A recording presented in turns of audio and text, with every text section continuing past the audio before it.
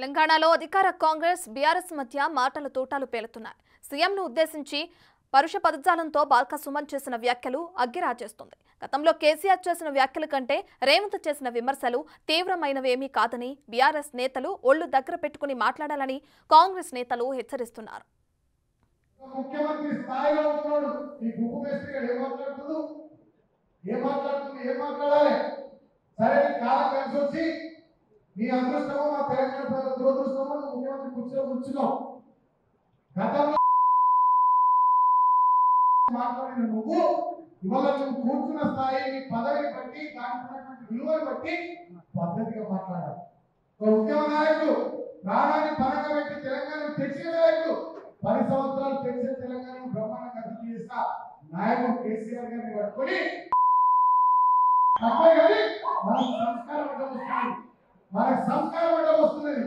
బిడ్డ పునర్జన్ రేవంత్ రెడ్డి మా కేసీఆర్ ఆ ప్రభుత్వం లేకపోవచ్చు. లక్షల మంది పండగ పండగకి మన అధికారంలో ఉన్నాం. మేము అనుకునే ఈ కాంగ్రెస్ ఉందా? మీ లీడర్లు ఉందా? మీరు ఉందా మీరు చేస్తే ప్రాణంతో కలిపి పారుతుంది గోదావరి కలిపి పారుతుంది ముట్టుకున్నప్పుడు ఇకపోతే ఇప్పుడిప్పుడే తెలిసిన వాస్తవం ఏంటంటే మా సోదరుడు తమ్ముడు ఏడ గడ్డేస్తే ఆడ పోయి గడ్డి మేసి గాయి గాయి అరుస్తుంటాడు. బాల్కా సుమన్ అని మాజీ శాసనసభ్యుడు చాలా ఎక్కువగా మాట్లాడిండు. ఆ స్థాయిలో నేను మాట్లాడలేను.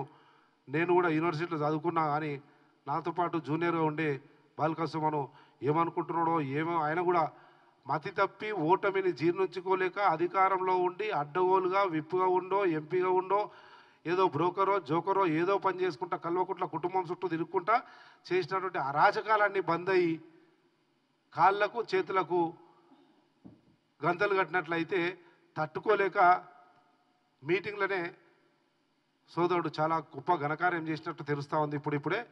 దానికి కౌంటర్గా ఆయనకు సమకాలీనులుగా ఉన్నటువంటి యూనివర్సిటీ మిత్రుడు ఇంతకుముందే మాట్లాడారు కనుక నేను మళ్ళా థర్డ్ క్లాస్ పంచాయతీ ఓలేను సుమన్లాగా కానీ అటువంటి థర్డ్ క్లాస్ పనులు చేస్తే ఇంకో సిక్స్త్ క్లాస్ పనులు కూడా చేయడానికి సిద్ధంగా ఉంటాము. ఎవ్వరం కూడా ఏం తక్కువ కాదు.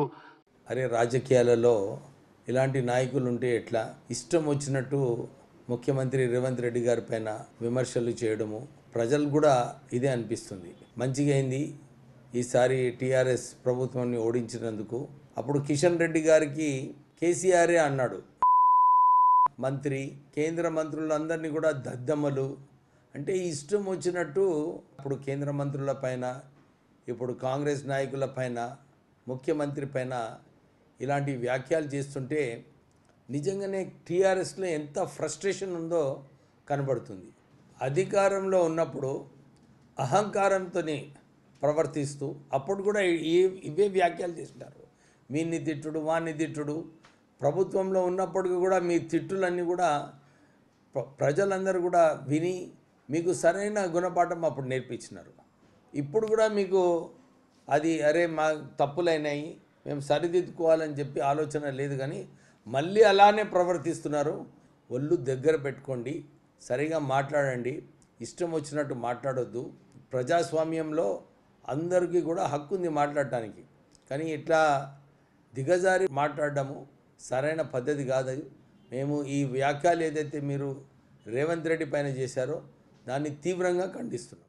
ఇవాళ నేను అడుగుతున్నా కేటీఆర్ రండ నర హరీష్ రావు రండ నర బల్క సుమన్ లాంటి గాడు ఆ రండల మోచేతి నీళ్ళు తాగుతున్నటువంటి ఓ దళిత ద్రోహి బలహీన వర్గాల వ్యతిరేకివిరా నువ్వు?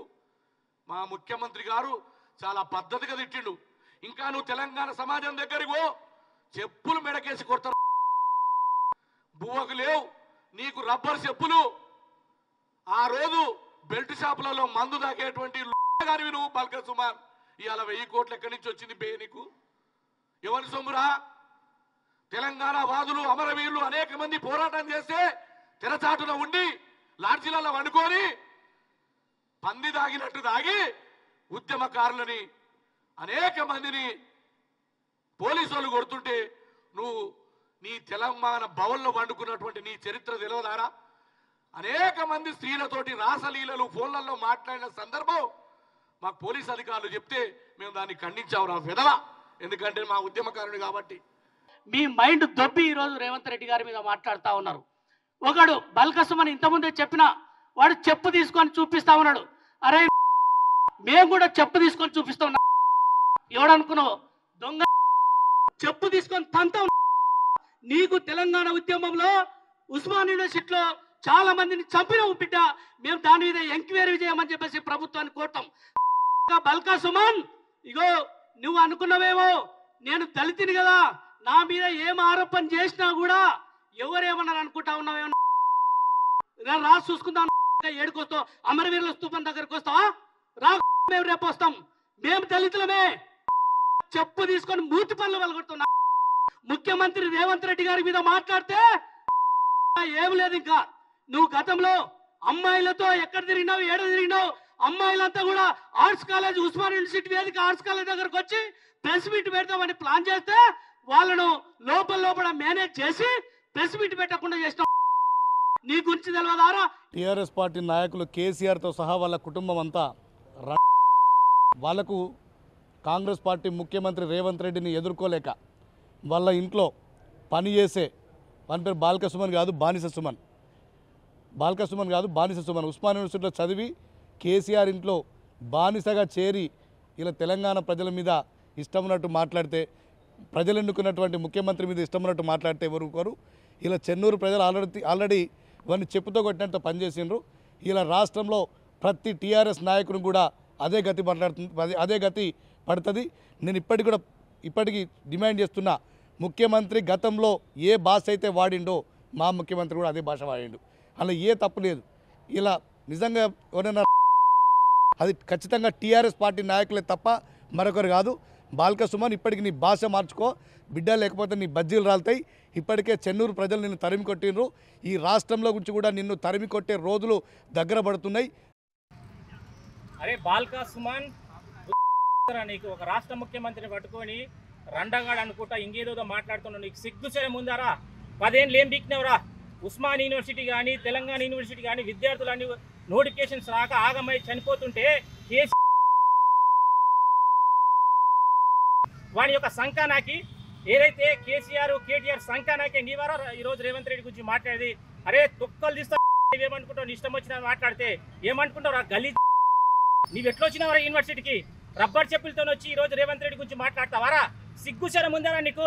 బిడ్డ ఇంకొకసారి మాట్లాడితే రేవంత్ రెడ్డి గారి గురించి కానీ అదేవిధంగా కాంగ్రెస్ పార్టీ గురించి మాట్లాడితే నీ యొక్క చెమడాలు తీస్తాం బిడ్డ నీవేమనుకున్నావు బిడ్డ నీ నీ అంతు చూస్తాం.